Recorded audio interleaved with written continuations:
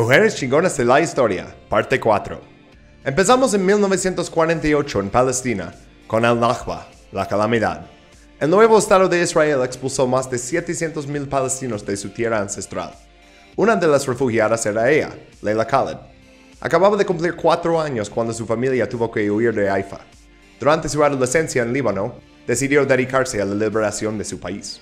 En 1967, los israelíes ganaron la guerra de seis días y ocuparon toda esta área. Los palestinos estaban viendo su patria desaparecer, tragada por las orugas de tanques israelíes. Leila Khaled ya no estaba contenta de manifestar pacíficamente. Estas tácticas no funcionan contra un enemigo que no reconoce tu humanidad, o una comunidad internacional que prefiere ignorarte. Con solo 25 años, Leila Khaled se puso en modo chingona y se convirtió en la primera mujer en secuestrar un avión. Ella y el Frente Popular para la Liberación de Palestina creyeron que el primer ministro de Israel estaría en el avión, pero cuando no lo encontraron, Leila ordenó al piloto que sobrevolara Haifa para poder ver su ciudad natal una vez más. Aterrizaron en Damascus, dejaron libres a los pasajeros y explotaron el avión.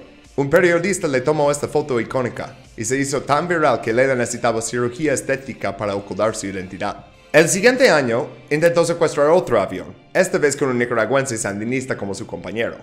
Cuando el piloto se dio cuenta que estaban por entrar a su cabino, mandó el avión en una picada empinada, tirando todos al piso.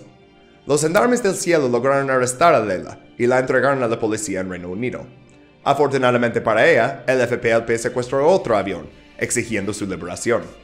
Los británicos la soltaron a cambio de los rehenes. Hoy en día, Leila Khaled sigue activa en la política. Aparte de ser un miembro del Consejo Nacional Palestino, también apoya los movimientos de independencia de los kurdos y de los irlandeses. Aunque muchos países ya no le dan una visa y hasta Zoom no le deja usar su plataforma, sigue levantando la voz por los pueblos oprimidos del mundo. En una entrevista reciente, habló sobre los secuestros y dijo, mis acciones fueron mi contribución para mi pueblo, para la lucha. No lastimamos a nadie.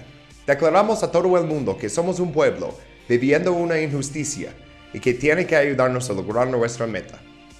Algunos le dicen terrorista, pero yo le digo una mujer chingona.